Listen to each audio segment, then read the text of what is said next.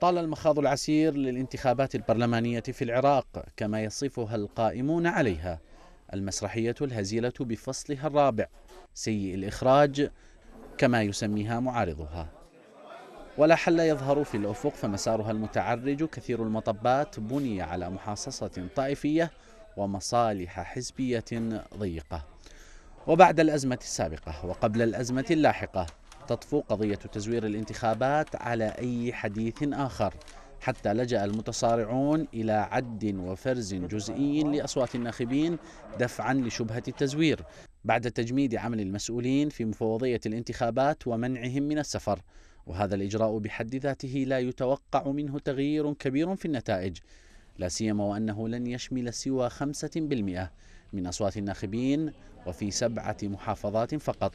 هي التأميم والأنبار والسليمانية ونينوى وأربيل ودهوك وصلاح الدين. هذا فضلا أنها لا تعدو إلا عملية تغطية على التزوير الكبير في الانتخابات بحسب النائب عن ائتلاف المالكي محمد الصيهود. تزوير الانتخابات نادى به الكثيرون وكثر فيه الشهود من داخل السلطة نفسها بل وشككوا حتى بنتائج العد والفرز اليدوي.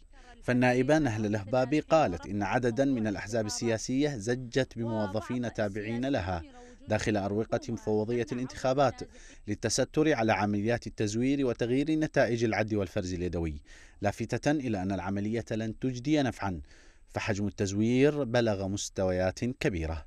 وتلك حيثية راهن عليها عضو المفوضية سعيد كاكائي بقوله إنه مستعد للذهاب إلى السجن في حال عدم ثبوت تزوير الانتخابات. ما هي الغاية؟ من العد والفرز اليدوي. الغاية حتى تتأكد من حصول أو عدم حصول تزوير تلاعب فإذا صار صار موجود تلاعب المفروض عليك تفتح الصناديق كلها.